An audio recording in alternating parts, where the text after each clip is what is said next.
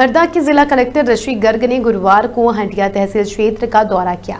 इस दौरान उन्होंने भादुगबड़ा खेड़ा, रातालाई ग्राम में चौपाल लगाकर आमजन की समस्याएँ सुनी और मौके पर ही संबंधित विभाग के अधिकारी को निर्देशित किया। कलेक्टर गर्ग ने अवैध अतिक्रमण, प्रधानमंत्री आवास वन भूमि पर पट्टे आदि समस्याओं से संबंध में शीघ्र ही हल करने के लिए निर्देश दिए। ग्राम चौपाल में नहर विभाग, प्रधानमंत्री ग्राम सड़क, राजस्व विभाग, स्वास्थ्य विभाग, जिला पंचायत आंगनबाड़ी सहित सभी विभागों के कर्मचारी अधिकारी मौके पर उपस्थित रहे।